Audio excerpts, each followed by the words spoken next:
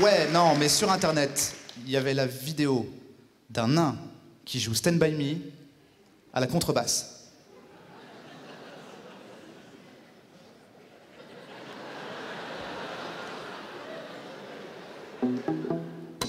Ah putain. Ok, non, non, non. Non, euh, euh, il, jou- il jouait du violon, il jouait, il jouait du violon allongé sur le dos.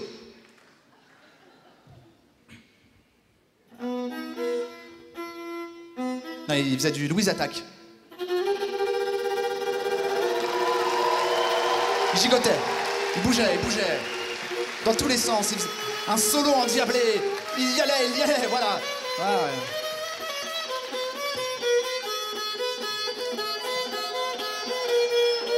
Ridicule, le mec de Bref.